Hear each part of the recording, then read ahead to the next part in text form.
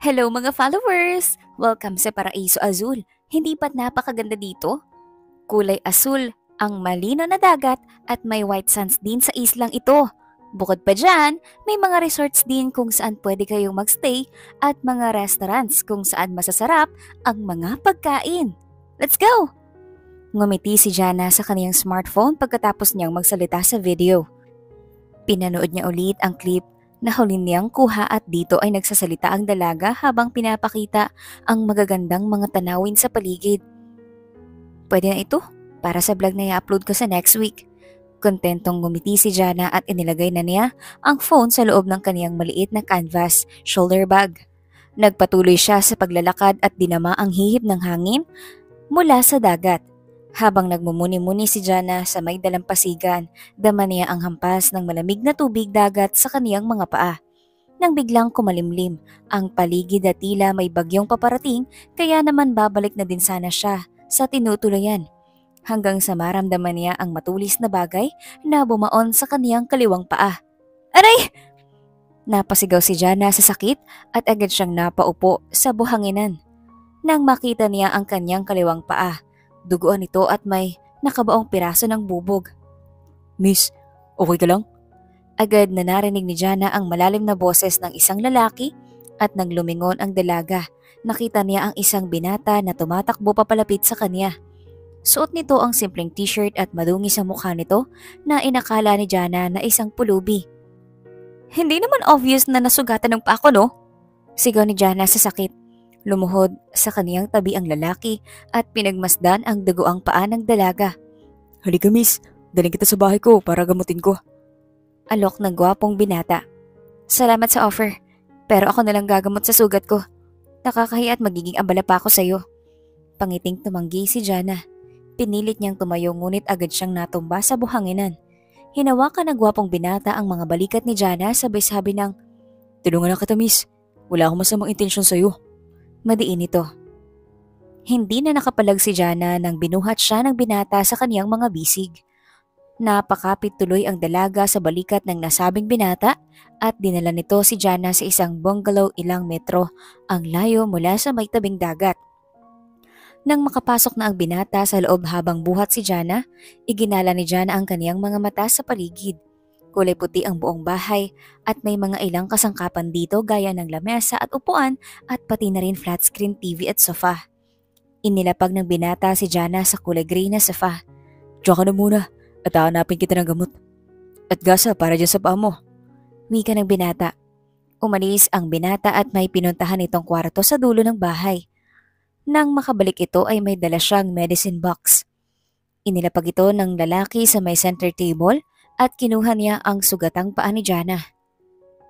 May nakabaon nga ang bubog pero kaya naman makuha to. Obserbahan ng lalaki habang nakapatong ang sugatang paa ni Jana sa kanyang hita.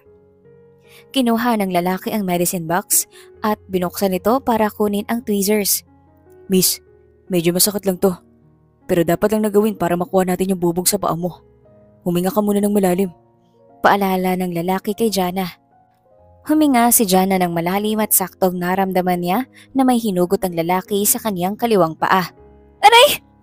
Napasigaw tuloy ang dalaga sabay sabi ng, Dahan-dahanin mo naman kasi! Ito na oh, miss. Natanggal na yung bubog. Ipinakita ng lalaki ang tweezers kung saan may nakaipit dito na munting pirasa ng bubog. Ngayon, lalagyan natin ng gamot at gas ang paa mo na may sugat. Dagdag pa niya. May kinuhang bulak ang lalaki at dinampian muna ito ng alkohol.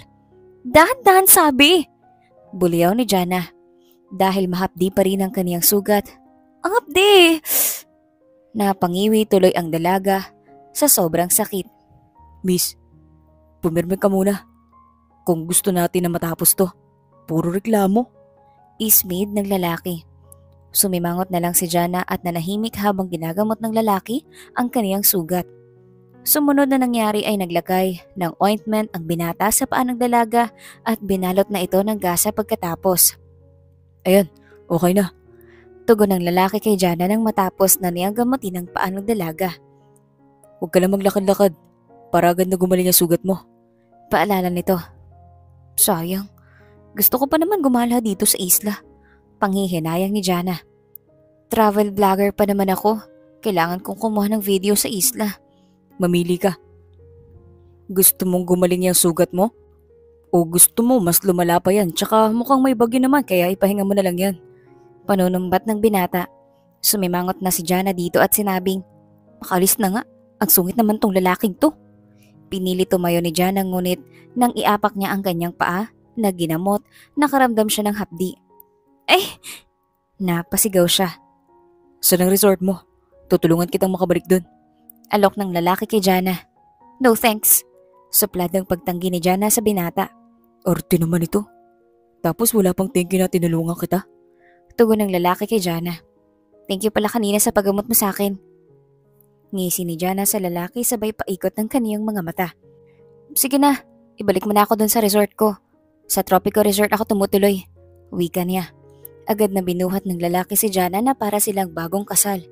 Gusto man magprotesta ni Jana ay binalot siya ng hiya dahil ang binatang ito ang nagmamagandang loob sa kanya kahit na sinungitan pa niya ito. Naglakad sila mula sa bahay ng lalaki hanggang sa Tropico Resort kung saan namamalagi si Jana para sa kaniyang bakasyon. Hi Sir Ralph! Wow! Bakit niyo po siya buhat? Tsaka ano nangyari sa inyo? Bakit ang dungis niyo ngayon? Tanong agad ng babaeng receptionist nang bumungad sa may labi ang binata na buhat si Jana. Nabubog siya sa may tabing dagat at ginamot ko kasi hindi siya makalakad. Dito naman sa itsura ko kasi kanina may tinulungan ako matandang magbuhat ng mga sako-sakong uling. Formal na tugon ng lalaki sa receptionist. Maingat niyang iniupo si Jana sa may sofa, sa labi at nagbilin sa receptionist. Pakasabi sa kanya na magpagaling muna bago siya mamasal. At dalhin niyo na po siya sa kanyang kwarto para makapagpahinga. Salamat, May. Pakiusap ng lalaki na Ralph pala ang pangalan.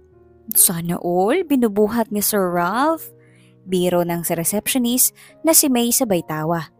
Nagpaalam na si Ralph at nang makaalis na ito, dito na nagsalita si Jana. Bakit niyo po siya kilala? Pagtataka ni Jana. Naku, Miss Jana. Heartthrob ng islang ito si Sir Ralph. Kinikilig ang receptionist na si May. May Italian resto siya dito kaso matumal. Ang mga kumakain kasi bagong tayo lang ito. Kwento pa ng dalaga.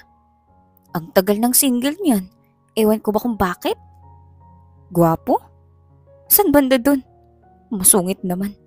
Ismid ni Jana. Masungit yan sa una pero mabait yan. Ay naku ma'am, kapag nakita niyong nag-ayo si sir baka pati tumbong mo, kiligin. Panigurado ni May, ang receptionist. Tsaka malay mo, kaya na ang meant to be. Biro pa ng dalaga kay Jana. Di yun no. Masaya na ako sa buhay ko na nagtatravel at may vlog. Naka 100,000 followers na nga ako sa video channel ko eh. Ngiti ni Jana. Congrats po Miss Jana. Malawak na ngumiti si May sa kanya. Papanorin ko yung mga videos mo kapag may time ako. Ay, siya nga po pala. Kailangan niyo po ba ng tulong na makabalik sa inyong kwarto? Oo, Kakapit na lang ako sa balikat mo para makalakad ako. Kung okay lang sa'yo. Wika ni Jana. Okay lang yun. Halina po, Miss Jana. Tinulungan ni May si Jana na tumayo at maingat niyang inalalaya ng dalagang may sugat ang paa na makabalik sa kanyang kwarto. Nang maiwan na si Jana sa loob ng kanyang tinutuloy ang kwarto, nahiga na lang ito at nag-isip.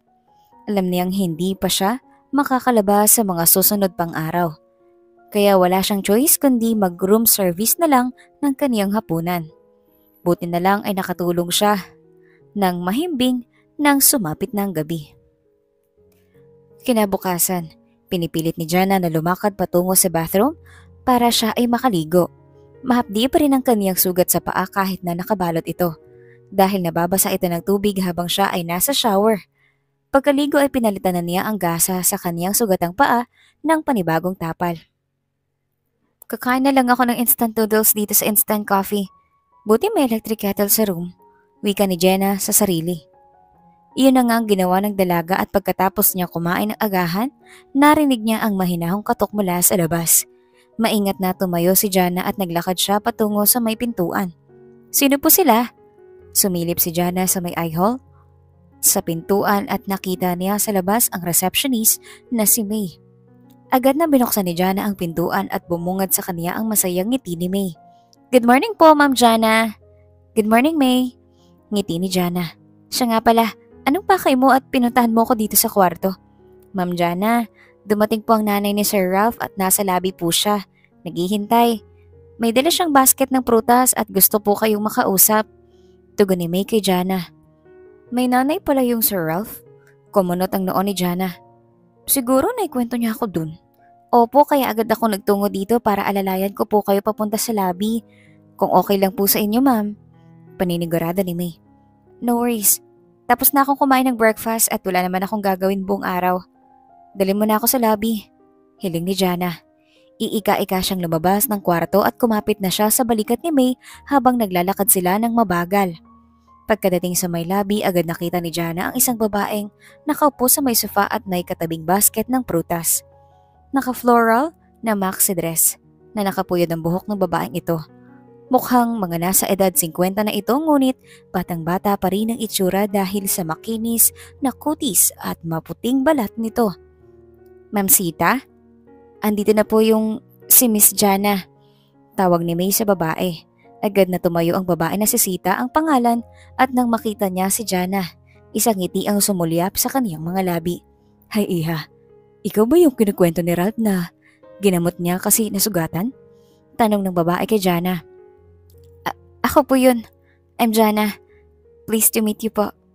Inilahan ni Jana ang kaniyang kamay at ang babaeng si Sita ay nakipagkamay dito. Maupo ka iha. Hiling ni Ma'am Sita kay Jana. Tumabi na si Jana kay Ma'am Sita at iniwan na sila ni May para makapag-usap sila ng pribado. Naikwento po pala kayo ni Sir Ralph po sa akin. Panimula ni Jana. Oo, sa katunayan nga nakita ko kayo mula sa malayo. Pabalik ako sa bahay namin at nakita ko siya na buhat-buhat ka ni Ralph. Hindi maikakaila ang malawak ng ngiti ng ginang na si Sita. Hindi niya naman ako narinig na natawagin ko siya dahil medyo malayo na ang lalakad ninyo mula sa amin. Nasugatan ng aking pag-aabang naglalakad sa may dalampasigan. Nagkataong nakita ko po yung anak ninyo na si Ralph at binuhat niya ako sa inyo para gamutin ang aking paa Ipinakita ni Jana ang kanyang nakabalot na kaliwang paa kay Sita. Pagkatapos, sabi ko po ay kaya ko na maglakad pabalik dito sa resort. Pero nagpumulit po ang anak ninyo na buhatin ako para maibalik ako dito sa resort. Ganun talaga ang batang yun. Natawa si Sita. Mabait at matulungin pero napaka-moody at tahimik. Baka naman mapaamo mo siya iha. Biro pa ng ginang. Naku po, mahirapan tayo dyan. Natawa na lang si Jana sa biro ni Sita. Tita Sita na lang itawag mo sa akin. Hiling ng ginang kay Jana.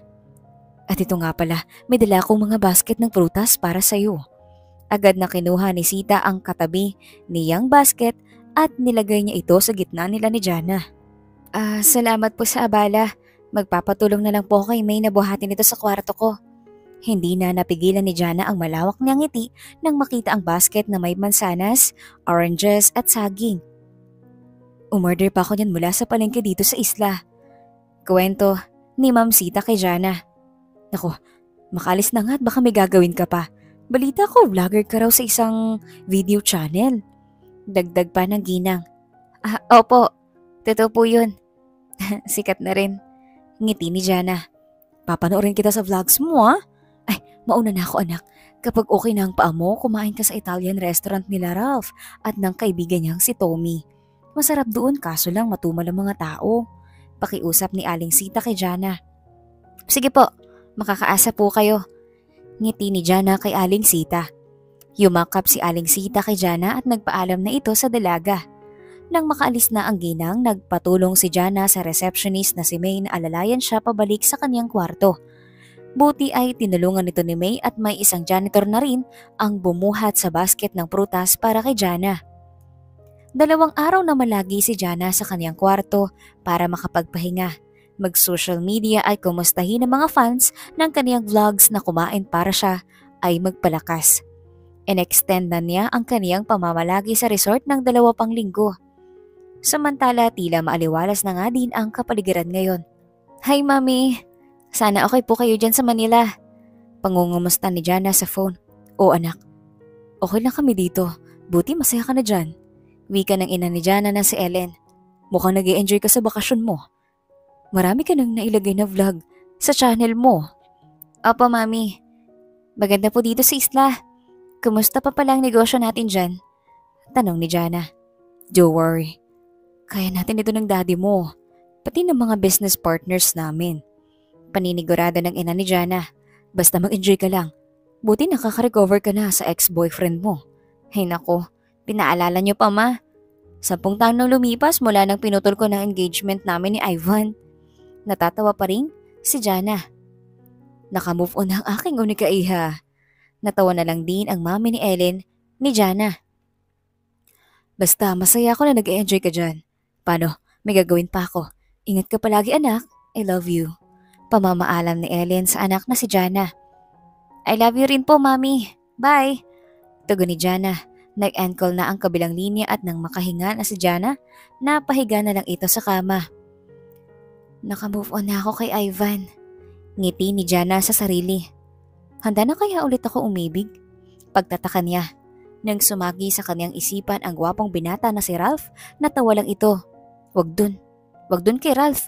Masungit yun. Ngisi niya. Pero nangako siya sa sarili na dadaan siya doon sa restaurant nila Ralph. Gaya ng pakiusap ni Aling Sita sa kanya. Kinabukasan ay kaya nang lumakat ni Jana ng mag-isa kahit mabagal ang kaniyang mga hakbang. Nang lumabas ito sa kaniyang kwarto, dumaan muna siya sa lobby para batiin si May, ang receptionist. Hi May! Masayang bungad ni Jana. Ma'am Jana, buti nakakalakad na po kayo. Hindi ba masakit ng paa mong nagsugatan? Tanong ni May. Hindi na, konti na lang. Ngiti ni Jana kay May. Siya nga pala sa yung Italian restaurant daw dito sa isla. Pag-uusisa ni Jana. Ah, Ma'am Jana, malapit lang po pero Sasakay kayo ng pedicab papunta doon.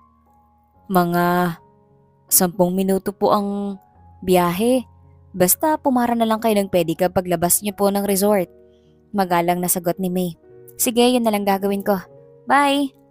See you later, May! Ngiti ni Jana. Mukhang may date kayo ni Sir Ralph, oh. Biro pa ni May kay Jana. Hindi naman. Inaya lang ako ng mami ni Sir mo na kumain doon. Halakak ni Jana. Sana all si Sir Ralph. Sige po, ingat Ma'am Jana. Pamamaalam ni May sa dalaga. Nak makalabas si Jana sa resort, nakita niya ang istasyon ng mga pedicab sa di kalayuan. Agad na itinaas ni Jana ang kaniyang kamay at may umandar na pedicab papalapit sa kaniya. Sumakay si Jana sa loob at sinabi niya sa driver na dalhin siya sa Italian restaurant. Ay, malapit lang yun dito ma'am. Sige po. Tugon ng pedicab driver kay Jana. Nagsimula na ang kanilang biyahe at inaliw ni Jan ang sarili sa mga magagandang tanawin na kaniyang nakikita. Gaya ng hinihilera ng mga puno ng niyog, mga matatayog na kabundukan, at ang asul na dagat na kanilang nakikita mula sa isang overlooking na highway. Maya-maya ay tumigil na sa tapat ng isang maliit na restaurant ang pedicab. Nagbayad na si Jana dito at nagpasalamat sa driver. Nang makababa na ang dalaga mula sa pedicab, pinagmasdan niya ang harapan ng nasabing Italian restaurant. Two-story ito, nagusali at kulay puti ito. Meron ding maliit na balkonahe sa itaas at may signage ng resto sa ilalim ng balkonahe.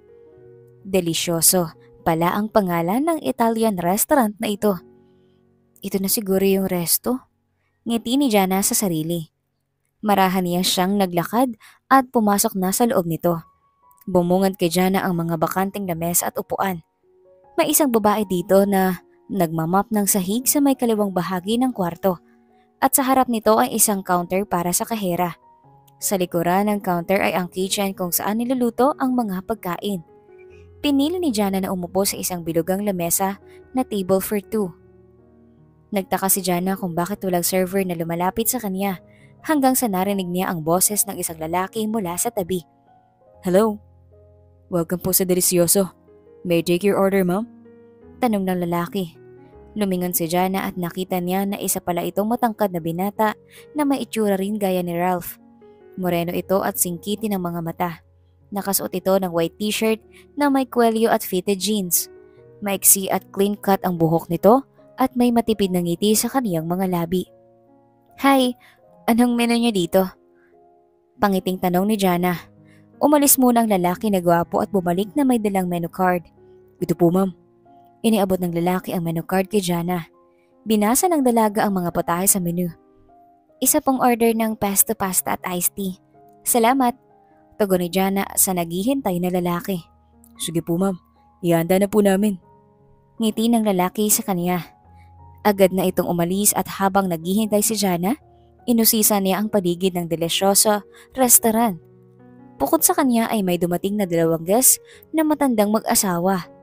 Ang parehong lalaki na kausap ni Jana kanina ay siya ring kumuha ng order ng nasabing mag-asawa na nasa kabilang table. Tahimik ang restaurant at pang casual dining. Pero sa oras ngayon ay magtatanghalian na bakit sila ang tatlo lang ang mga nandito? Here's your pasta pasta and iced tea. Nilingon ni Jana ang tinig na pinanggalingan nito at agad bumungad ang isang dalaga na may dalang tray na kanyang order. Enjoy your meal! Ngiti nito kay Jana sabay lapag ng order nito. Aalis na sana ang dalagang server ngunit tinawag ito ni Jana. Ah, uh, miss? Maitatanong lang sana ako. Magalang na bungad ng dalaga. Agad na lumingon ang babaeng server kay Jana ano po yun? May kailangan pa po kayo? Tanong ng babaeng server. Sumenya si Jana na mas lumapit pa sa kanya ang babaeng server at ganito nga ang ginawa nito. Ate, tatanong ko lang bakit ang konti yata ng mga dumadalaw dito sa resto ninyo? Lumingali nga muna ang babaeng server at binalikan si Jana pagkatapos. Ma'am, talagang ganito po dito mula nang maitayo ang delisyoso last year. Minsan maraming kumakain, minsan konti lang. Minsan matubal ang mga tao, minsan marami rin. Sa totoo po, nag-aalala na po ang mga may-ari nito. Kung isasara na nila sa susunod na buwan o bibigyan pa nila ng tatlo pang buwan para makabawi man lang sa kita. Tumango si Jana at kinuha ang tinidor para paikutin ang noodles ng pesto pasta mula sa kaniyang plato. Isidubo niya ito at ngumuya. Masarap naman tong pasta, wika ni Jana. Nilunok niya muna ang kanyang kinain at sumimsim ng iced tea. Actually, mukhang maraming masarap sa menu ninyo. Pero kulang yata kayo sa marketing. Puna ng dalaga. Yan nga pong pinoproblema nila Sir Tommy at Sir Ralph. Pagsang-ayon ng babae kay Jana. Kung ganito pa rin po ang mga tao, mukhang malulugi kami at mawawalan kami ng trabaho.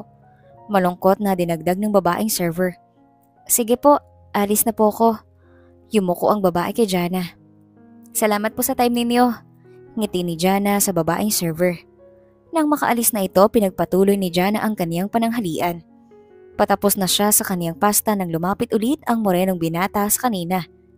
Hay, ikaw ba si Jana na vlogger? Ngiti ng lalaking ito sa kanya. Ay, kilala mo pala ako. Agad na napangiti si Jana. Yes, ako yun. Pagpapakilala niya sa sarili. Tumayo si Jana at nakipagkamay sa morenong binata. I'm Tommy, one of the owners of Delicioso. Tugon ng morenong binata kay Jana sabay na pakikipagkamay nito sa kanya. Naupo si Tommy sa bakanteng upuan sa tapat ni Jana para makipag-usap dito. Pinapanood ko kita sa mga vlogs mo. Ang ganda mo pala sa personal. Paghanga ni Tommy sa dalaga. Salamat. Maayos na skincare lang yan. Ngiti ni Jana kay Tommy. Inubos na ni Jana ang kaniyang pasta at sumimsim ulit ng iced tea. By the way, Masarap ang pasta niyo ah. Pwede ba umorder ng dessert? Biro ni Jana. Oo naman. Natawa si Tommy. Eh, siya nga pala. Napansin kong kausap mo ang isa sa aming mga server kanina. Nagtatanong ako tungkol dito sa resto ninyo kung bakit matumal ang mga taong kumakain dito. Sabi ni ate kanina baka ipasara ninyo ang resto kung tuluyan na itong malulugi. Sayang naman kung ganun. Pangihinayang ni Jana.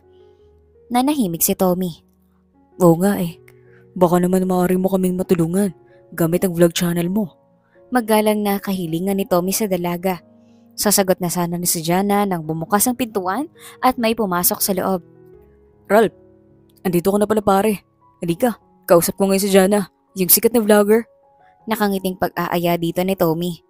Nang nakita ito ni Jana ay sobrang gwapo nga pala talaga nito kapag hindi madungis ang itsura. Parang pwede pang mag-artista. Napalingon si Ralph sa lamesa kung saan magkaharap na nakaupo sila Tommy at Jana. Agad silang nilapitan ni Ralph at kumunot ang noon nito nang makita si Jana. Bakit pa tayo hingi ng tulong sa kanya? Nakakaya naman. Pag-aalinlangan ni Ralph. Ralph, ito nang pagkakataon natin para hindi may pasarang delisyoso. Kapag na-vlog na tayo ni Jana, baka sakaling umayos ang benta natin. Siya na mismo nagsasabi na masarap ang pasta natin. Pag-isipan mo to pare. Pagpupumilit ni Tommy sa kaibigan na si Ralph. Humalakip-kip si Ralph na parang malalim ang kaniyang iniisip. Sir Ralph, salamat at tidulungan mo ko ng masugatan ng paa ko sa may tabing dagat. Panimula ni Jana. At bilang pagtulong mo sa akin, ito ang ibabalik ko sa'yo. Gagawa ko ng vlog tungkol sa delisyoso. At dito ay kakain ako ng mga luto ninyo. Samahan niyo na rin ang dessert ha. Matamis nang umiti si Jana kay Ralph. Eh na Ralph, umayag ka na. Paano na lang yung staff natin na binigyan natin ng trabaho? Yung iba sa kanila, working student pa. Pagkumpinsin ni Tommy kay Ralph. May bayad ba to? Tinaasa ni Ralph ng kilay si Jana. Baka mapagastos tayo dito. Alam mo naman na sikat yung si Jana sa channel niya. Satsat ni Ralph. Ako pang magbabayad sa inyo dahil masarap ang pagkain ninyo. Hindi problema sa akin ang pera kung mapapagastos ako dito sa inyo. Wika ni Jana kay Ralph. Bukas, gawin ko ng vlog shoot. Lunchtime din ah. It's a deal. Tumayo si Jana at sinalubong ng tingin si Ralph. Sir Ralph, kapag dumami ang views ng vlog ko, umasa kayo. Mapupuno ang delisyoso ng mga taong gustong kumain. Ngumiti si Jana sa binata. Napabuntong hininga si Ralph. Sige na, papayag na ako. Yes! Napasigaw si Tommy sa kagalakan at nakipag-high five kay Jana. Samantala, Hello and welcome to my channel! Nandito ako ngayon sa Delisyoso, isang munting Italian resto sa Paraiso Azul. Isang kilalang isla kung saan may magagandang beaches at maraming resorts. Halika, subukan natin ang mga pagkain nila. Ngumiti si Jana sa video na ginagamitan ng kanyang digital camera na mamahalin. Inisa-isa niya ang mga pagkain ng delisyoso mula sa appetizers, mga pasta, pizza at desserts.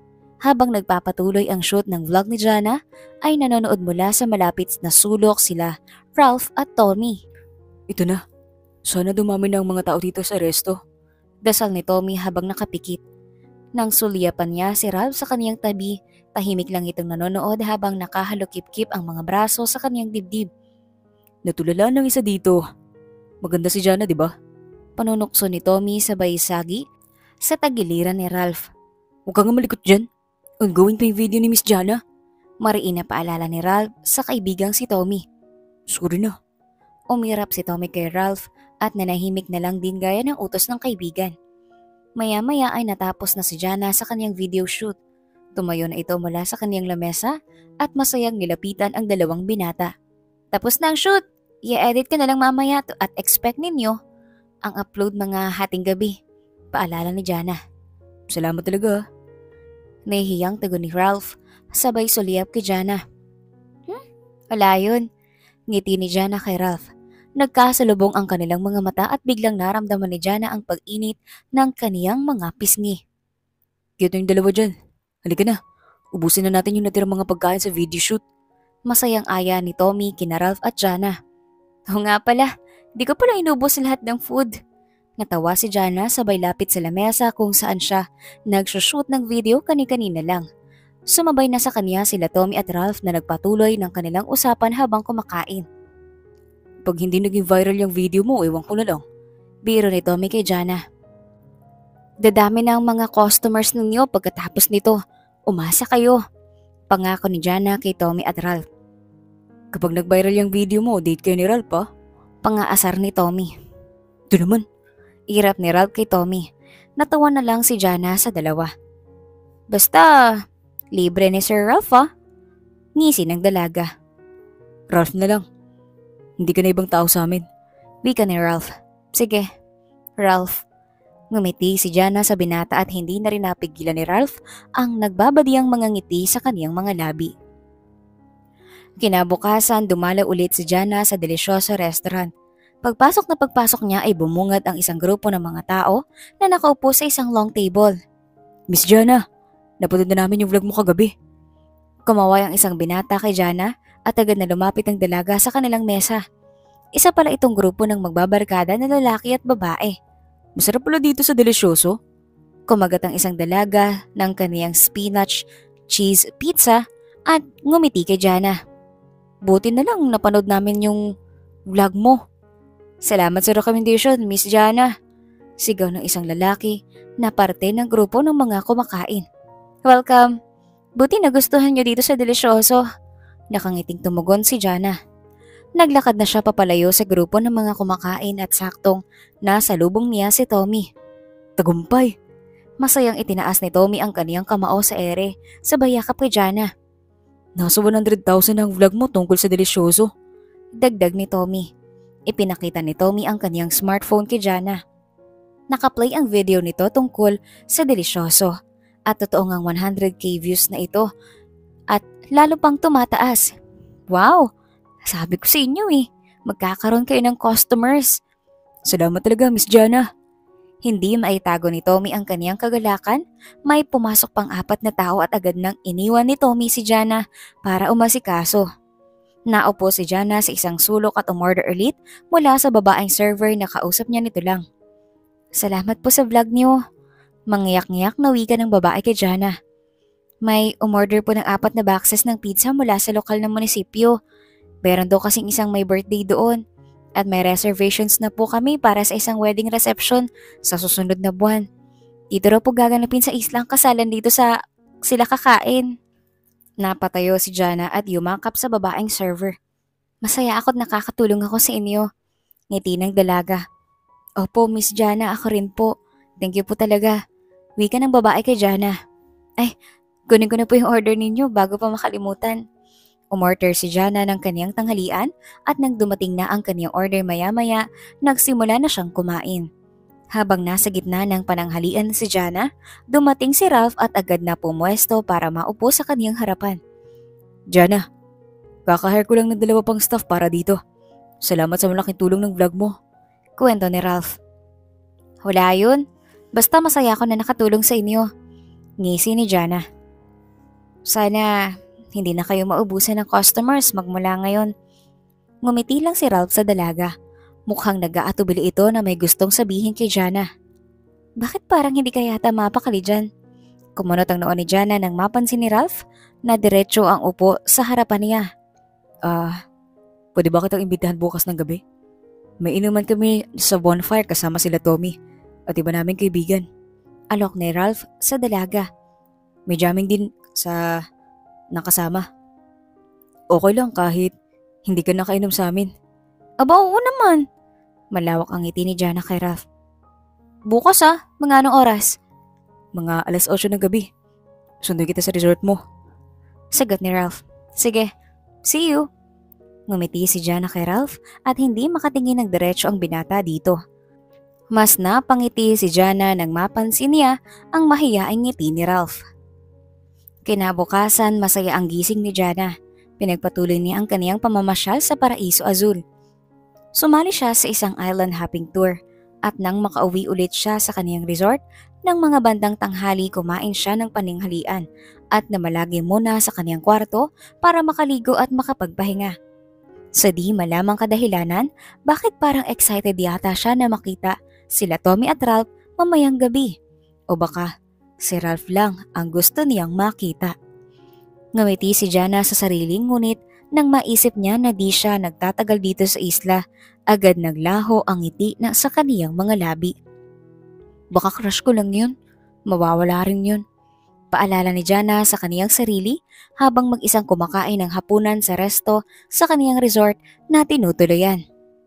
Pagsapit ng ikawalo ng gabi, agad na nagtungo si Jana sa tabing dagat. Malamig ang hihip ng hangin ng gabing iyon at napayakap si Jana sa sarili. Mahaba ang kaniyang floral maxi dress ngunit sleeveless ito. Tinatamad na rin siyang bumalik sa resort para kunin ang cardigan sa loob ng kaniyang kwarto. Agad na tanaw ni Jana ang nag-aapoy na mga kahoy na malapit sa tabing dagat. Minadali ng dalaga ang kaniyang paglalakad at nang marating na niya ang bonfire, saktong nandoon na sila Ralph, Tommy at ang isang babae na katabi ni Tommy. May dumating pa na babae at lalaki na magkahawak kamay Jana, dito ko na pala. Kumaway si Tommy kay Jana at Sumenias na maupo sa isang bakanting upuan na gawa sa plastik. Saktong katabi ni Jana sa kanan niya si Ralph at ang kaliwa niya ay si Tommy. Hi Tommy, bati ni Jana. Hi Jana, siya nga pala, si Rose, jowa ko. Ngiti ni Tommy kay Jana sabay baling ng tingin kay Rose sa tabi nito. Inakbayan ni Tommy ang kaniyang nobya na si Rosie. Hi Rose! Ngayon lang kita nakita ah. Ngiti ni Jana dito. Uy, ikaw yung vlogger! Ngiti ni Rose sa kanya. Congrats pala, marami ng views yung episode mo tungkol sa delisyoso restaurant nila Tommy. Bati ng dalaga. Thank you. Ngiti ni Jana. Yung kararating lang, magjowa rin yan. Sila Mike at Valerie. Pagpapakilala ni Rose sa dalawang magkasama. Hi Mike at Valerie. Si Jana pala to. Pakilala ni Jana sa sarili. Nakipagkamay siya kina Mike at Valerie. Ayos ah. May kasama tayong influencer. Natutuwang tugon ni Mike. Umayos ka kung ayaw mong i-video at mag-viral. Mahigpit na paalala ni Valerie sa nobyong si Mike. Don't worry. Di ko to i-video. Biro ni Jana sabay tawa ng lahat. Basta, chill lang tayo lahat ah. Nag-abot na si Tommy ng tigi isang lata ng beer sa mga kasama niya. Uminom ka ba dyan ah? Paninigurado ni Tommy. Social drinker ako. Salamat. Ngiti ni Jana sabay kuha ng beer mula kay Tommy. May mga nagbukas na rin ng mga chicherya at dito na nagsimula ang kwentuhan ng grupo. Taimtim na nakikinig si Jana sa kanila at dito niya natutunan na si Rose na kasintahan ni Tommy ay may-ari ng isang spa dito sa isla. Sila Mike at Valerie naman ay college classmates nila Tommy at Ralph sa syudad at saktong nandito sila ngayon para magbakasyon. Sa kabilang isla pa pala kayo nagkolehiyo? Tanong ni Jana kina Mike at Valerie. Ah, uh, oo. Kasi yun ang pinakamalapit dito. Yung pinakamalaking universidad. Sasakay ka pa ng eroplano para pumunta doon at mamalagi pa sa dorm. Kaya pinili namin dito sa mas malapit. Kwento ni Valerie kay Jana sabay titig kay Mike. Si Ralph pala. Dito ka ba lumaki gaya nila? Inosenteng tanong ni Jana sa walang kibo na si Ralph. Hindi. Ang totoo niya, lumipat kami dito ni nanay nung 12 anyos pa lang ako. Tapos, dito na ako nag-high school sa isla. Nagkolehiyo ako sa sinasabi nilang isla at doon ako nakilala si Tommy, Mike at Valerie. Agad na nanahimik si Ralph pagkatapos. Napansin ni Jana hindi mapakali si Ralph. Napatingin ang binata sa malayo at buti na lang ay naglabas ng gitara si Tommy para kumanta sila habang nakapaligid sa bonfire. Sa gitna ng pagsimsim ng beer, pagkain ng chicherya, mga kwentuhan, awitan at tawanan, mas napapansin ni Jana ang labis na pananahimik ni Ralph. Oo, nakikitawa siya ngunit madalang siya, sumagot sa mga kwentuhan. Jana. Bulong ni Ralph. Nagitla ang dalaga at agad lumingon sa kanan niya kung saan nakaupo si Ralph. Ano yun? Tanong nito. Alis na muna tayo dito. Maglakad-lakad muna tayo sa tabing dagat. Pag-aaya ng binata kay Jana. Kumunot ang noon ni Jana. Nang mapansin niya na seryoso si Ralph, sa kaniyang hiling agad na tumayo si Jana at kinuha ang braso ni Ralph para yayain na ito. Oh, saan kayo pupunta? Biglang tanong ni Tommy. May date sila! Yee! Sigaw ni Valerie. Inggit lang kayo. Date din kayo ni Mike. Biro ni Rose sa kasintahan ni Tommy. Bye! Quality time muna kami. Pangaasar ni Jana sa grupo. Natawa na lang silang lahat sa nagawa ni Jana at Ralph na makaalis na mula sa mapangasar nilang mga kaibigan. Nang makalayo na sila Jana at Ralph mula sa kumpulan, si Ralph ang unang bumasag ng kanilang katahimikan. Ang iingay kasi ng mga yun. Ismid nito sabay tawa. Introvert ka siguro, no? Tanong ni Jana. Oo, hindi ko may kakaila. Pero maingi talaga sila. Natawa na lang si Ralph at wala ako sumod makipagkwentuhan. Tumingala si Jana sa kalangitan. Wow! Ang daming stars ngayong gabi at ang lamig ng hangin mula sa tabing dagat. Ngumiti si Jana at napayakap muli sa kaniyang mga braso. Napansin ni Ralph na nilalamig na si Jana, kaya hinubad niya ang kaniyang polo at ipinatong ito sa balikat ng dalaga. Uy, di mo na kailangan gawin yan. Baka ikaw naman ang ginawin. Paalala ni Jana. Huwag kang mag-alala. Baka palang suot kong kamiseta. Tinuro ni Ralph ang kanyang gray na kamiseta na suot, katerno ng itim na cargo pants. Salamat ah. Binalot ni Jana ang kaniyang mga nilalamig na balikat gamit ang polo shirt ni Ralph. Tahimik lang na binagtas nila Jana at Ralph ang tabing dagat habang nasa ilalim ng mga bituin. At dito na nagkwento si Ralph sa dalaga. Ang totoo niyan, hindi ko maalala ang aking nakaraan. Panimula ni Ralph. Agad na lumingon si Jana dito. Ano yan? May amnesia ka? Tanong ng dalaga dito. Parang ganun na nga. Sagot ni Ralph. Totoong nakilala ko sila Tommy noong college na ako. Pero hindi ko maalala yung taon na bata ako. Ang naalala ko, nagising ako dito sa isla at nasa loob ako ng isang kubo kasamang aking ina na si Aling Sita. Ang kwento niya sa akin, lumubog daw yung barko na sinasakyan namin at nakaligtas kami. Dito kami napadpad. Di na rin pinuntahan ni mama yung lugar na dapat namin sanang puntahan. Dahil mas pinili niya dito sa Paraiso Azul kung saan mas tahimik. Kwento ni Ralph. Wala ka bang ama? Hindi mo ba siya kilala? Tanong ni Jana kay Ralph. Umiling na lang si Ralph. Tinanong ko na si mama tungkol dito dati. Pero sabi niya wala siyang maisasagot. Sa palagay ko ay may tinatago siya sa akin at yung lugar na pupuntahan sana namin ay konektado sa pagkatao ng aking ama.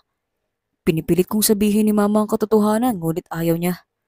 Dismayadong wika ni Ralph. Siguro, malalaman mo rin ito sa tamang panahon. Pinagmasdan ni Jana si Ralph sa kaniyang tabi.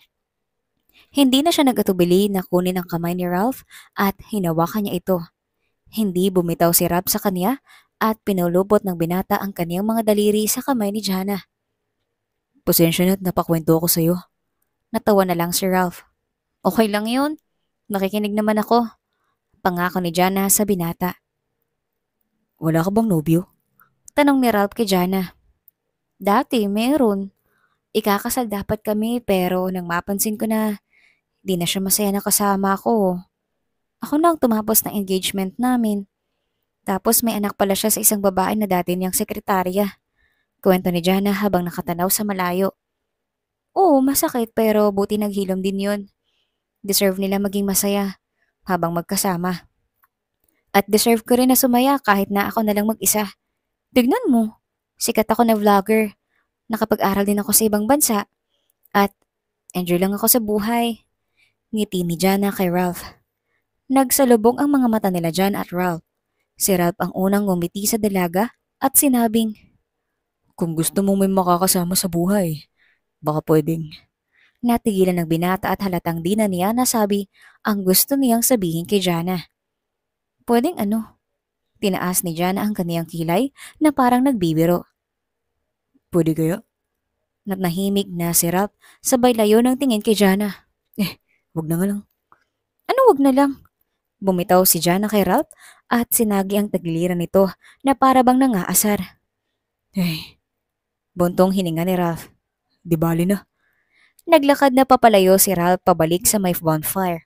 Si Jana ang humabol dito at sinabing, Hoy! Bumalik ka dito! Pwedeng ano? Ano ba yung gusto mong sabihin? Sigaw ni Jana. Lumingon si Ralph. Pwede mo ba ako samahan bukas buong araw? Mabilis na sinabi ni Ralph kay Jana. Date pala ah. Natawa na lang si Jana sa pagiging torpe ni Ralph. Sige, payag ako. Agad na tumakbo si Ralph pabalik kay Jana at binalot ito sa isang mainit na yakap. Nagulat si Jana ngunit binalot na rin niya ang kaniyang mga braso kay Ralph at yumakap pabalik dito. Nang sumapit ang sumunod na araw, si Ralph na mismo ang sumundo kay Jana sa tinutuloyan nitong resort. Aba, marunong ka palang magmotor? Paghanga ni Jana, nagbumungad si Ralph habang nakaangka sa kaniyang motorsiklo. Suot mo ng helmet na to. Inabot ni Ralph kay Jana ang isang itim na motorcycle helmet at isinuot na ito ni Jana sa kaniyang ulo. Umangkas na ang dalaga sa likuran ni Ralph at nang maramdaman ito ng binata, kinuha niya ang isang braso ni Jana para ipulupot ito sa kaniyang baywang. Baka di ka komportable na nakakapit ako sa'yo. Pag-aalangan ni Jana. Okay lang yan. Baka mahulog ka. Higpitan mo lang ang kapit mo simula na ng biyahe natin. Paalala ni Ralph kay Jana. Saan tayo pupunta? Tanong ni Jana kay Ralph. Ngunit di na sumagot si Ralph at pinaandar na ang kaniyang motorsiklo. Pakiramdam ni Jana ay para siyang lumilipad habang nakaangka sa motorsiklo. Kinakabahan pa siya dahil unang beses niyang umangka sa motorsiklo. Bagalan mo naman, Ralph! Para tayong lumilipad! Sigaw ni Jana sa tenga ni Ralph habang binabagtas ang daan. Masanay ka na. Ganito talaga kapag nasa motor ka. Sigaw ni Ralph kay Jana bilang tugon. Malapit na ba tayo? Pasigaw na tanong ni Jana. Huwag ka magulo sa likod. Baka mahulog tayo. Natawa na lang si Ralph at mas hinigpitan pa ni Jana ang kapit niya sa binata. Nang igala niya ang kaniyang paningin sa paligid, napalitan ng kagalakan ang kabang nararamdaman ni Jana. Dumaan ulit sila sa overlooking highway kung saan makikita ang dagat na asul at nagpatuloy pa ang biyahe hanggang sa marating nila ang isang bangin kung saan natanaw ang malawak na dagat sa malayo. May malaking espasyo sa bangin kung saan pwedeng mamalagi ang mga bumibisita dito. Itinigil ni Ralph ang motorsiklo sa ilalim ng isang puno. Siya ang unang bumaba dito at hinubad na ni Ralph ang kaniyang helmet sa ulo. Tinulungan ng binata na makababa si Jana at siya na rin ang nagasikaso na tanggalin ang helmet ng dalaga. Wow! Anong lugar to? Ang ganda! Paghanga ni Jana habang tinitignan ang buong paligid. May mga iba pang punong nakatanim at napaliligiran ng lugar. At sa gitna ay ang bangin na nakaharap sa dagat. Dito tayo magpipiknik. Tugon ni Ralph sabay kuha ng isang picnic basket mula sa motorcycle compartment sa likuran. Inaya ni Ralph si Jana na maupo sa ilalim ng isang puno na malapit sa bangin. Ngunit tanaw pa rin ang dagat mula rito. Ikaw maglatag ng picnic blanket. Iniabot ni Ralph kay Jana ang isang malaking picnic blanket na may checkered na disenyo. Yun na ang ginawa ni Jana at si Ralph ang unang naupo sa nakalatag na blanket. Binuksan ni Ralph ang picnic basket at inilabas niya ang dalawang container ng pagkain, isang pack ng potato chips, isang malaking termos, mga paper plates at kubyertos, tissue papers at ang plastic cups na kulay pula. Anong baon mong pagkain? Tanong ni Jana sabay kuha ng container. Binuksan niya ito at napangiti ang dalaga. Wow! Sandwiches! Grilled chicken pesto sandwiches yan. Ika ni Ralph. Tapos yung nasa isang container, macaroni salad. Malamig pa yan. Agad na kumuha si Jana sa isang sandwich na kinagatanan niya ito. Sarap! Ito yata yung pesto sauce dun sa pasta ninyo. Oo nga. Tawa ni Ralph. Kumuha na rin ng binata ng isang sandwich at nagsimula na silang kumain ni Jana. Ang kanilang merienda ay napuno ng magaan na usapan at tawanan. Nang sila ay matapos na, inaya ni Ralph si Jana na pagmasdan ang papalubog na araw mula sa bangin. Nakakatakot naman yata tumayo dyan. Pag-aalangan ni Jana habang naglalakad sa tabi ni Ralph patungo sa nasabing lugar. Hindi kita ihulog dyan sa bangin. Natawa si Ralph. Tumingin ka doon sa may dagat. Utos nito. Iyon nga ang ginawa ni Jana at bumungad sa kaniya ang araw na papalubog na. Kulay kahel ang kalangitan at mukhang kumikinang din ng tubig dagat dahil sa refleksyon ng langit. Wow! Parang painting ang view. Nakangiting paghanga ni Jana. Paborito ko tong tanawin. Kapag gusto ko mapag-isa para kumalma ang pag-iisip ko. Dito ako pumupunta. Kwento ni Ralph kay Jana. Salamat at dinala mo ako rito. Ngiti ni Jana sa binata. Nang magkasalubong ang kanilang tingin, nanatili silang pinagmasdan ng isa't isa. Napabuntong hininga si Jana at sinubukan niyang ilapit ang kaniyang mukha sa mukha ng binata. Tinitignan lang ng dalaga ang reaksyon nito at hindi na siya makagalaw nang mas inilapit pa ni Ralph ang kaniyang mukha kay Jana. Nagkasalubong ang kanilang mga labi sa isang halik at napapikit si Jana. Di naman niya ito at nang humila na papalayo si Ralph, Isang malawak na ngiti ang nagguhit sa mukha ng dalaga. Sabi na nga ba? Tawa ni Jana kay Ralph. Matagal ko nang gusto umamin sa'yo pero nahihiya lang ako. Kaya dinala kita dito. Tugon ni Ralph. Ang ganda naman ng background natin ah. Tumingin si Jana sa may dagat at ang takip silim na bumabalot sa buong lugar. Pang romance na pelikula. Jana, sana may pagkakataon ako sa'yo. Hiling ni Ralph. Oo, meron. Yumakap si Jana dito. Pero inaalala ko paano kapag nakabalik na ako sa Maynila. Siyempre, may trabaho ako doon. May social media naman. At private messages. Doon na lang tayo mag-usap hanggang sa magkita tayo ulit dito. Suwestyon ni Ralph. Tama ka, doon na lang. At habang nandito ako, sulitin natin ang mga oras na magkasama tayo. Yumakap si Jana kay Ralph at nang yumakap pabalik sa kanya ang binata, dinaman ni Jana ang init ng kaniyang yakap. Nang sumunod na mga tatlong araw, palagi nang magkasama sila Ralph at Jana. Kung hindi kumakain si Jana kasama si Ralph sa delisyoso restaurant, naglalangoy sila sa may dagat, namamasyal sa isla at pinupuntahan ng iba pang tourist spots sa paligid. Saya naman itong dalawang to. Panunokso ni Tommy kina Ralph at Jana habang kumakain ulit sila sa delisyoso restaurant. Mag-date na rin kay ni Rose dito. Natawa si Ralph kay Tommy. O di kaya yayain mo. Double date tayo. Ay, gusto ko yung double date. Nakangiting wika ni Jana.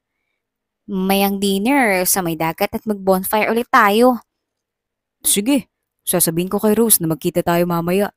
Ngumiti si Tommy. Buti ay umalis na si Tommy sa eksena para mag-asikaso ng mga customer sa resto. Nagkatinginan sila Ralph at Jana at natawa na lang. Jana, samahan mo ako pa uwi. Hiling ni Ralph pagkatapos nilang kumain. Sasabihin ko kay mama na tayo na. Oo naman, para alam niya. Sang-ayon ni Jana. Pagkakain nila ay sumabay na si Jana kay Ralph pauwi sa tahanan ng binata. Ma, andito si Jana, kasama ko. Pagtawag ni Ralph sa kaniyang ina nang sila ay makapasok na sa bahay. Ralph anak, buti kasama mo yan si Jana. Nakangiting sinalubong ni Aling Sita kay Ralph at Nginitian din niya si Jana. Iha, kamusta yung paa mo? Tanong ni Aling Sita kay Jana. Okay na po, gumagaling na. Ngiti ni Jana sa ginang. Mabuti. Bakit di mo na kayo maupo at may paghahanda kayo ng merienda?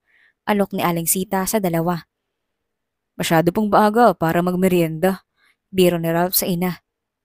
Sige, manood mo na kayo ng TV. Inilahad ni Aling Sita ang kamay sa flat screen TV sa harapan ng salas. Kailan mo sasabihin kay tita? Tanong ni Jana nang maupo siya sa tabi ni Ralph sa sofa. Magsasalita na sana si Ralph ngunit may narinig silang kumatok sa labas. Ma, ako na yan. Alok ni Ralph na akmang tatayo na sa sofa. Hindi anak, ako na. Pagtanggi ni Aling Sita, nagmamadali siyang lumakad sa pintuan at binuksan niya agad ito. Andito ka pala. Mabuti at nandito ka ngayon. Andito ngayon si Ralph. Tugon ni Aling Sita sa bisita. Ma, sino yan? Tanong ni Ralph. Tumayo siya sa sofa para lapitan ng kaniyang ina ngunit pinapasok na ni Aling Sita ang bisita. Isa pala itong matandang lalaki na namumuti na ang buhok.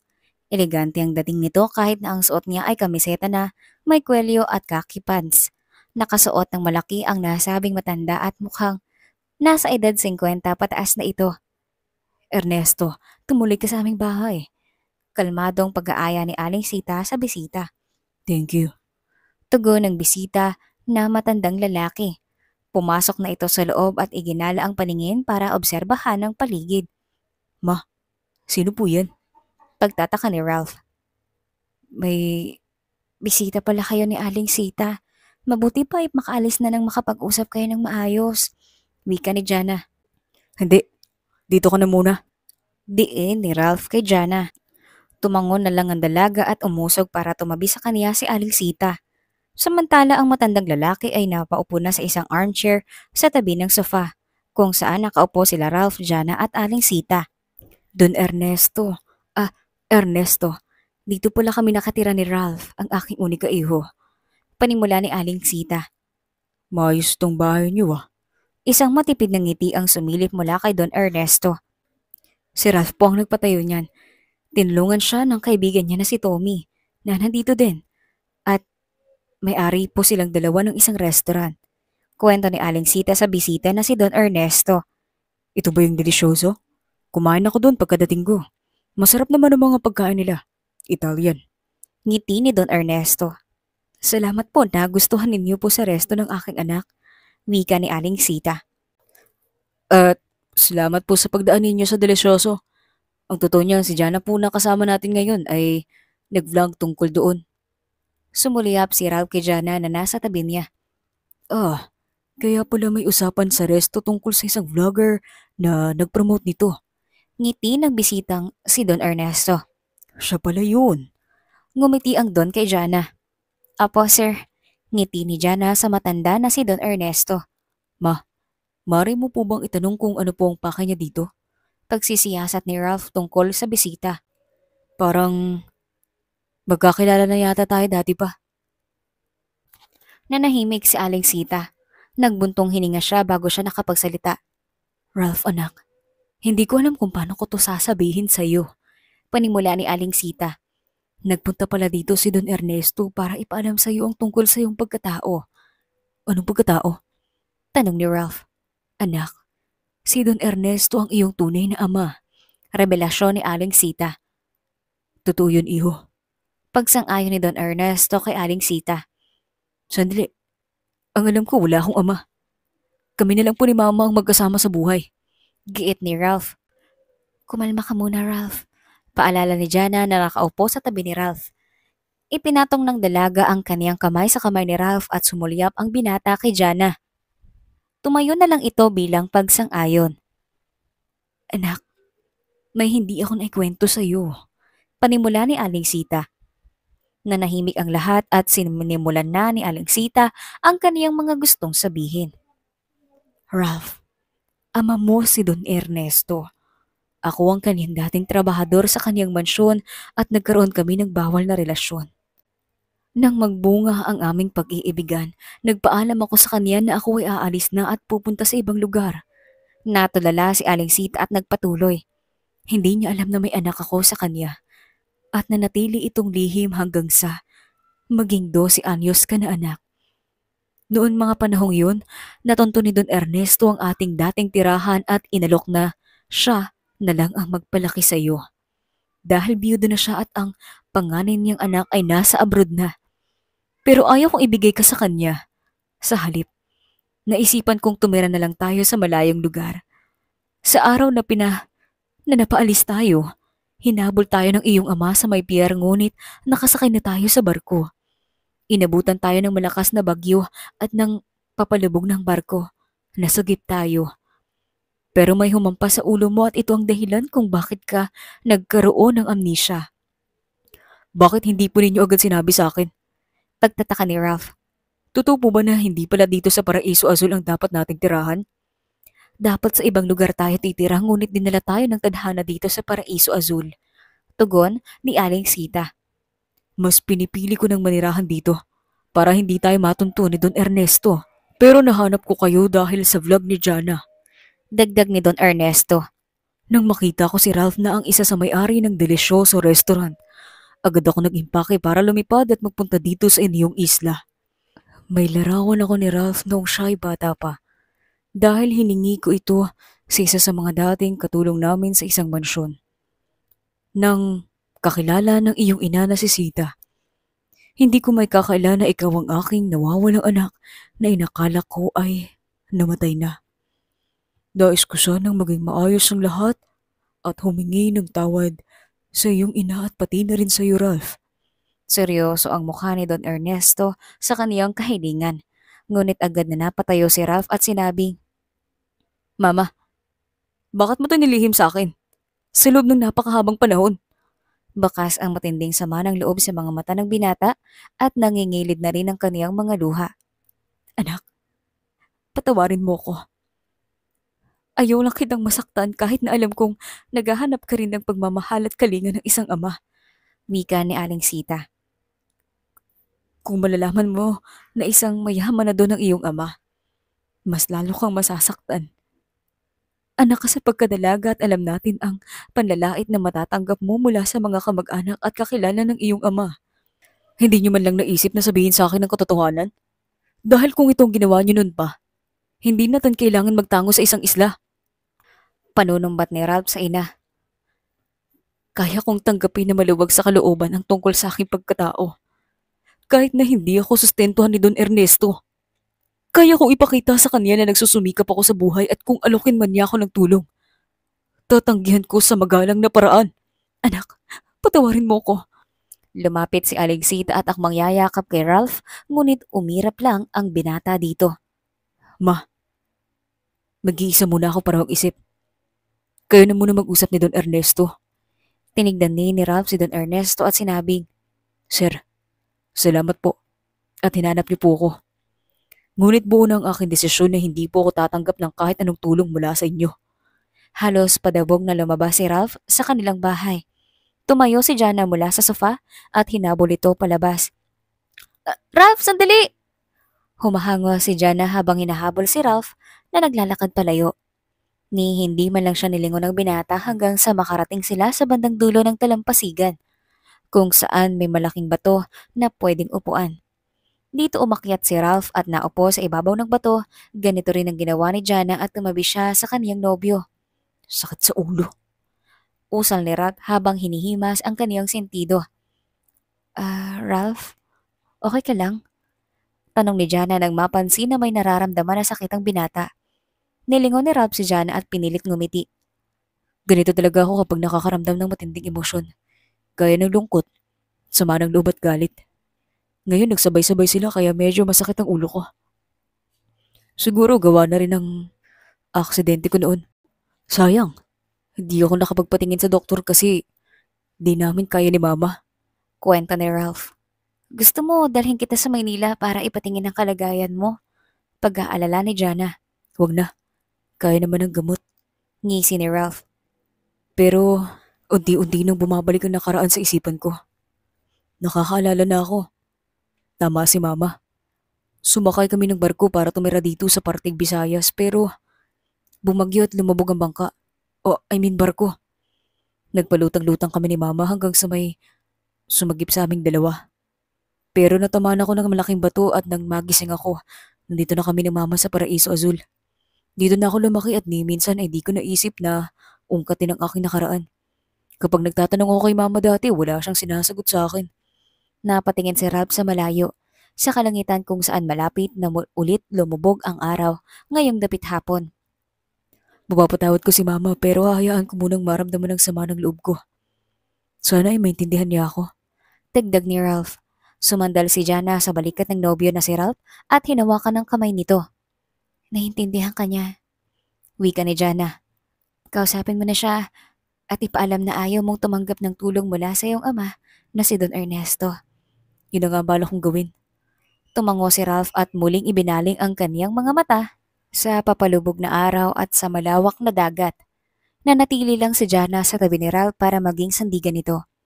Nang lumubog na ang araw, magkasabay nang bumalik sila Jana at Ralph sa tahanan ng binata. Dito na sinalubong sila ni Aling Sitaw mula sa pintuan. Jana anak, salamat sa pagsama mo kay Ralph. Bungad ni Aling Sita nang makita na ang dalawang walang anuman po tita. Ngiti ni Jana sa ginang. Um, patawad kanina. Sumama lang pong aking loob dahil di niyo agad sinabi sa akin ang katotohanan. Paumanhin ni Ralph sa ina. Tinignan lang siya ni Aling Sita at sinalubong niya si Ralph ng mainit na yakap. Nauunawaan kita anak. May pagkukulang din si mama. Gusto ko lang na protektahan ka mula sa sama ng loob at sa mga panghuhusga ng mga tao. Nanatiling magkayakap ang mag-ina na sila Aling Sita at Ralph. Napangiti si Jana sa eksena at di na rin napigilan ng kaniyang mga mata na lumuha. Agad itong pinaalis ng dalaga para di nila mahalata na siya ay naiiyak na. Siya nga pala Ralph. Sumakit ba ang ulo mo? Pag-aalala ni Aling Sita. Konti lang ma. Kaya to ng paracetamol. Tugon ni Ralph. At gagaling na ako sa yakap ni Jana. Ngiti niya sa kaniyang nobya. Jana, alam mo nang may amnesia si Ralph? Tanong ni Aling Sita. Opo, naikwento na po sa akin. Inaalo ka na magpatingin siya sa Maynila dahil sa kanyang kalagayan. Tugon ni Jana kay Aling Sita. Ayaw mo yun? Nobya mo na mismo ang tutulong sa'yo. Ngiti ni Aling Sita sa anak. Sabi ko po, kay Jana okay naman ako. Ngisi ni Ralph. Halina po, magapunan na tayo. Pag-aaya ng binata. Sabay na pumasok ng bahay sila Aling Sita, Ralph at Jana, kung saan sila nagsalo-salo sa isang masarap na hapunan. Wala na sa bahay ni Don Ernesto at di na ito tinanong pa ni Ralph at Jana. Kinabukasan ay naalala ni Jana na last day na pala niya sa Paraiso Azul. Sa susunod na araw ay paalis na siya pabalik sa Maynila. Makadaan ka nga kina Ralph. Wika niya sa sarili habang lumalabas na mula sa kanyang resort. Habang naglalakad si Jana ay saktong nakasalubong niya si Don Ernesto. Ay, good morning po, Don Ernesto.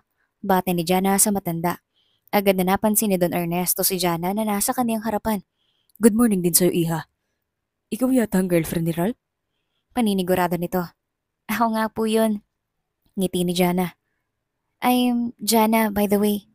Inilahad ni Jana ang kanyang kamay at kinamaya naman siya ni Don Ernesto bilang pagpapakilala.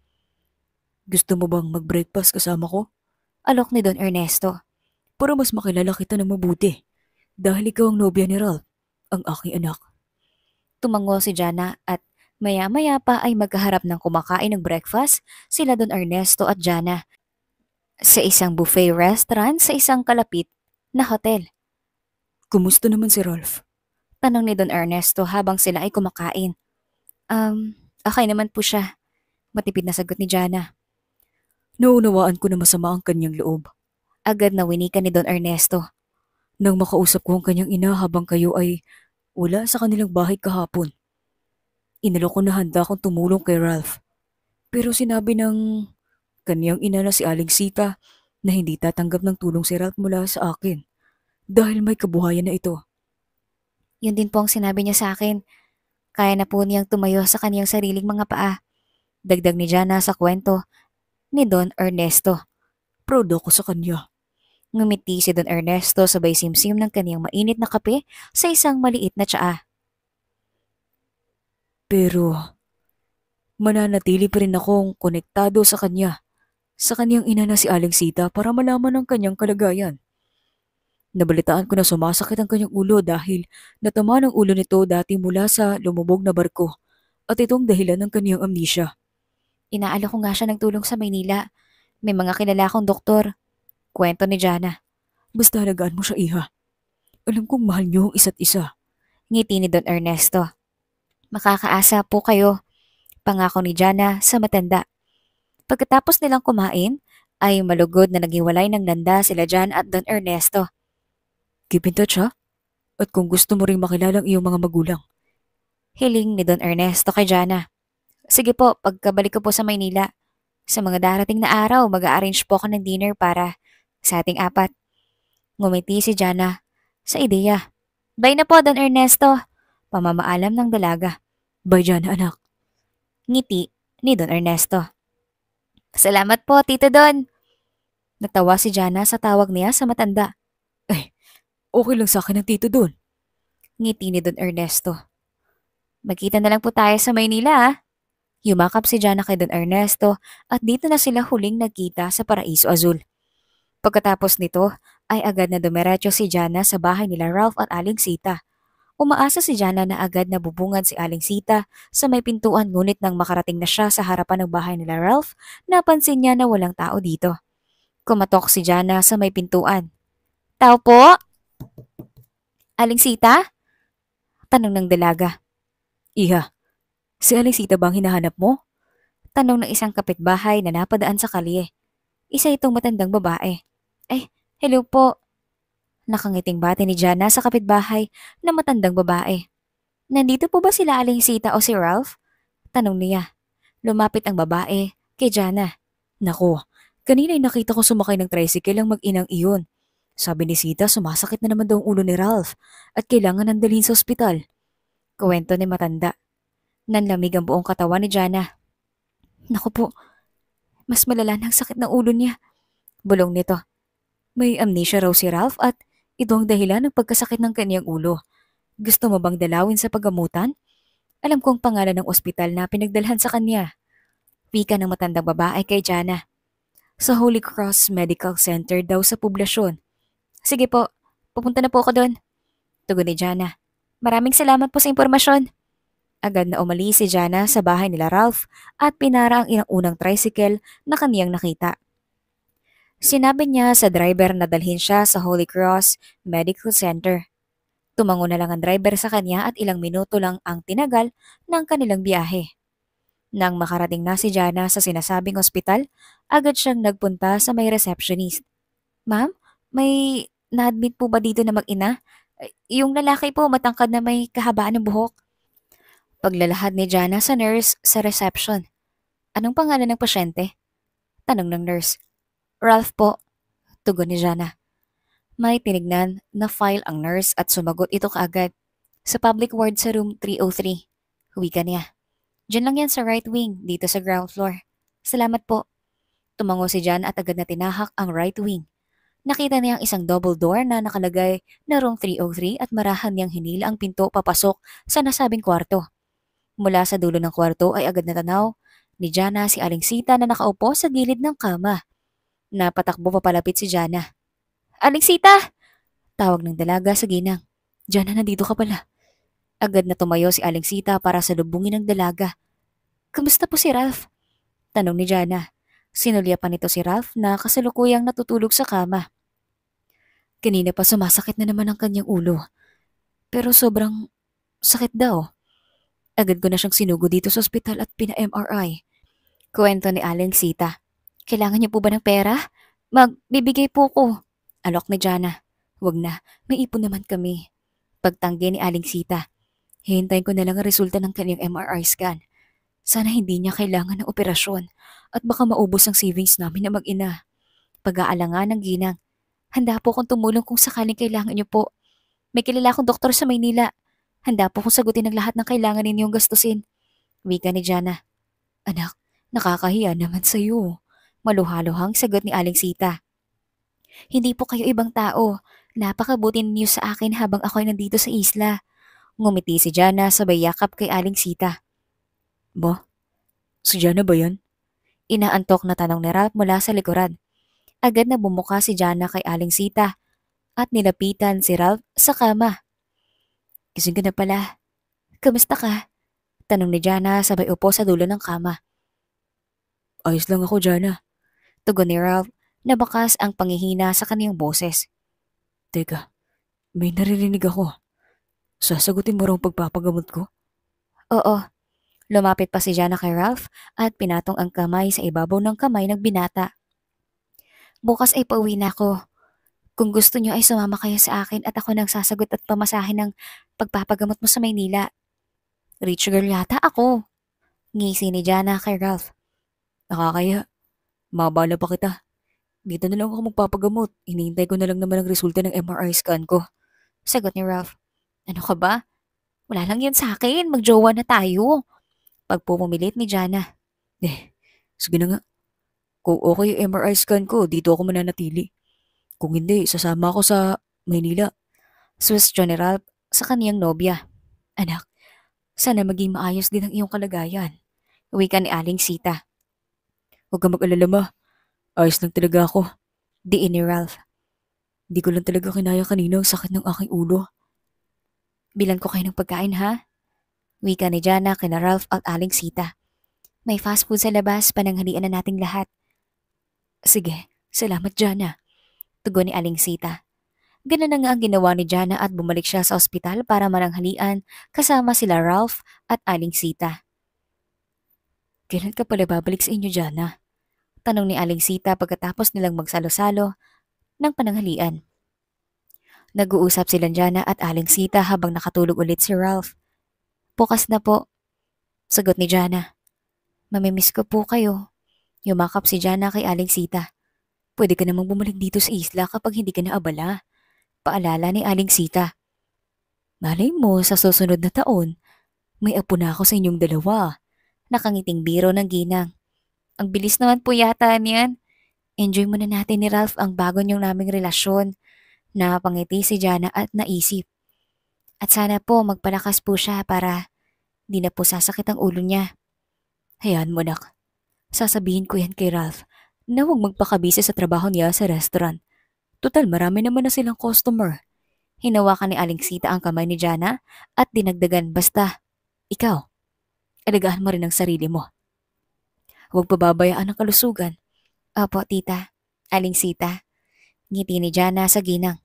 Tita na lang iha. Natawang pareho silang Aling Sita at Jana.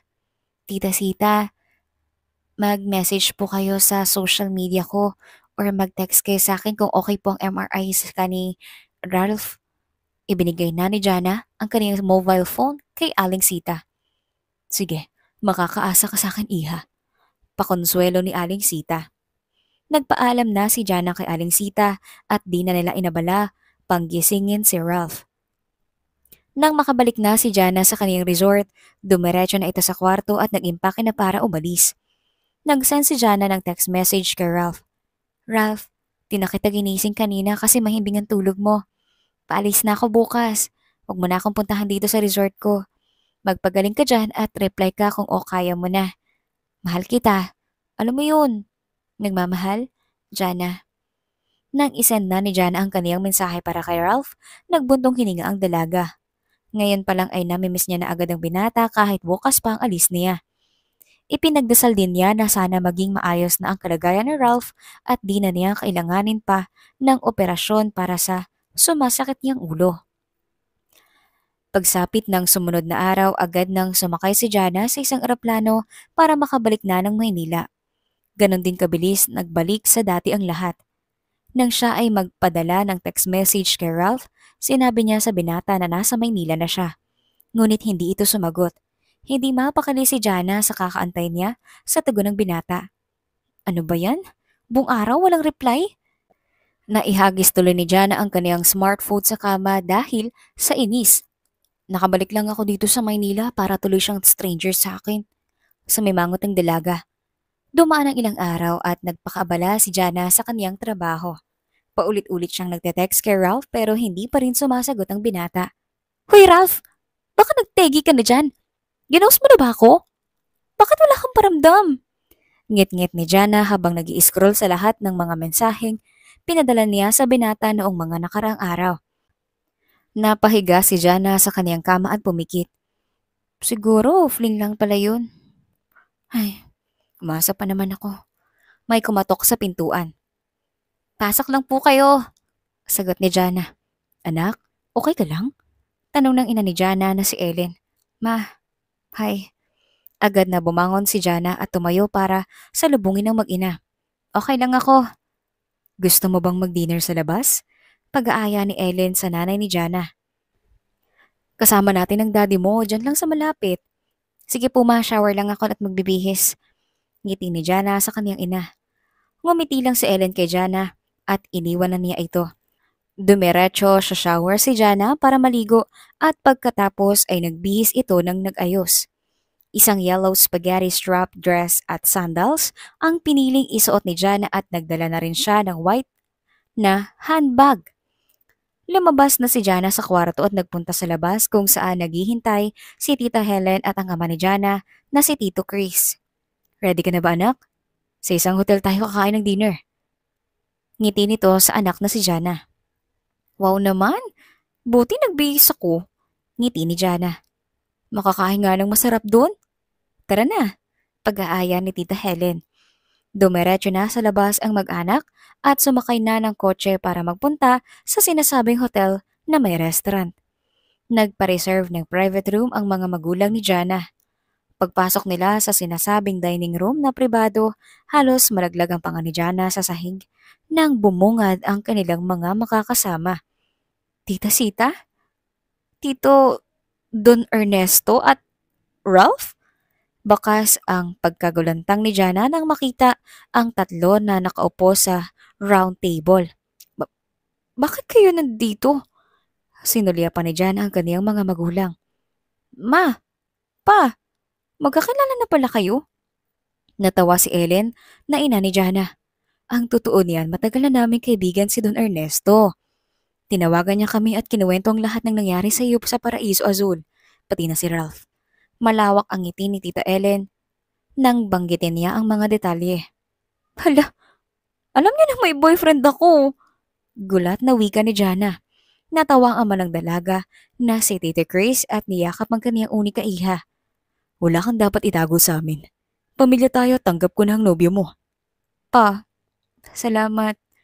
Ngumiti si Jana sa ama at nilapitan ang pamilya nila Ralph. Tita Sita, hi po! Yumakap si Jana sa ginang at pagkatapos ay nagmano kay Don Ernesto. Tito Don, paano niyo po napapayag si Ralph na samahan kayo dito? Tanong ni Jana. Tanungin mo siya, Iha. Ngiti ni Don Ernesto sabay tingin kay Ralph. Lumapit si Jana sa binata at pumamewang na kunwaring nagagalit sa kanya. Ralph, ikaw ah? Akala ko nag-ghost ka na. Di ka nagre-reply sa mga text messages ko. Bakit ka ganyan na? Ngumuso si Jana. Kinarot ni Ralph ang ilong ng dalaga at natawa. Effective ang surprise namin ah. Tignan mo ma. Nag-aalala si Jana. Ngisi ni Ralph. Eh bakit hindi ka nagre-reply? Akala ko tuloy wala na tayo. Sumbat ni Jana. Akala ko rin nategi ka na sa ospital. Hindi ah. Kung nag-aalala ka sa akin, masaya akong binabalita sa'yo na normal na resulta ng aking MRI scan. Akala ko nga napuruhan ako sa aksidente ko dati. Yun pala, intense migraine lang. Gamot lang ang katapat ng tamang pahinga. Malawak ang ngisi ni Ralph sa kaniyang ibinalita. Kakainis ka! Singhal ni Jana. Ngunit di na nakapalagpa ang dalaga nang lapitan siya ni Ralph sabay yakap dito ng mahigpit. Yan na. Sorry na. Bati na tayo. Humalik din si Ralph sa noon ni Jana. Oo na. Mabuti pa kumain na tayo. Suwestyon ni Jana. Gutom lang yan anak. Biro ni Tita Ellen ang ina ng dalaga. Nang magsalo-salo na sila para kumain na magkasama, si Ralph ang unang nagsalita sa gitna ng kanilang hapunan. Para sa mga magulang ni Jana. Dahil kong sabihin sa inyo na mahal ko po ang inyong anak. Panimula ni Ralph. Agad na napangiti sila Ellen at Chris sa kanya. At handa po kong alagaan at maging mabuti sa kanya. Payag ako dyan, sagot ni Jana. Anak, patapusin mo muna si Ralph. Nakangiting paalala ni Tita Ellen. Eh, sige po ma. Ngiti ni Jana sa ina. Siyempre, papayag yan. Natawa si Tita Chris. Jana, nagkabati na kami ng ama ko na si Tito Don mo. Balita ni Ralph. Pumayag ako na dumalaw siya sa amin kahit kailan niya gusto habang ako ay nagtatrabaho doon sa restaurant. At isa pa, payag siya na punduhan ang ating kasal. Agad na tumayo si Ralph at nilapitan si Jana para lumuhod sa harapan nito. Inilabas niya ang isang munting kahon na may engagement ring sa loob. Silver ito na may munting Swarovski crystal sa itaas. Jana, pumayag ka na maging asawa ko at makasama ng habang buhay. Will you marry me? Nakangiting tanong ni Ralph. Hindi mapigilan ni Jana ang kaniyang malawak na ngiti at ang pagpatak ng mga luha ng kaligayahan. Tumayo siya at kinuha ang isang kamay ni Ralph. Yes, I will marry you. Sigaw ni Jana sa kagalakan. Nagpalakpakan ng kanilang mga magulang. Isinuot na ni Ralph ang engagement ring kay Jana at mahigpit itong niyakap pagkatapos. Finally, magkakaroon na ako ng apo. Sigaw ni Don Ernesto. Nagkatinginan sila Aling Sita at ngumiti sa isa't isa. Salamat at nagkapatawaran tayo. Wika ni Don Ernesto sa ginang. Naku, wala yun. Ngisi ni Aling Sita. Pass is pass, kumbaga. Excited na ako maging lola. Basta, wag lolo itatawag sa akin. Bata pa ako. Daddy lo na lang. Natawa si Don Ernesto sa naiisip. Samantala, nilapitan nila Tita Ellen at Tito Chris si Jana, ang kanilang anak. Niyakap nila ito at isinama na rin si Ralph sa kanilang group hug. Pagkalipas ng isang taon, ikinasal na sila Ralph at Jana sa Paraiso Azul. Ito ang beach team wedding nang sila ay maghalikan nila bilang mag-asawa. Ang background ay ang sunset at ang kulay kahel at rosas na kalangitan. Nandoon sila Tita Ellen at Tito Chris na mga magulang ni Jana, sila Aling Sita at Don Ernesto na mga magulang ni Ralph. Ang entourage na sila Tommy, ang nobya ni Tommy na si Rose at pati na rin sila Mike at Valerie. Sila ang mga kaibigan ni Ralph. Samantala, inimbitahan din ni Jana si May, ang receptionist sa resort na naging mabuti na niyang kaibigan. Sa Paraiso Azul na namalagi sila Ralph at Jana sa kanilang sariling tirahan. Tumutulong si Jana sa pagpapatakbo ng delisyoso restaurant at nagbo-vlog pa rin. Sinubukan din niya na matutong mag-surf kasama si Ralph na asawa na niya. Lumipas pang isang taon at nagkaroon na rin ng unang anak ang mag-asawa na sila Ralph at Jana. Isa itong baby boy na pinangalanan nilang Rafael Ernesto.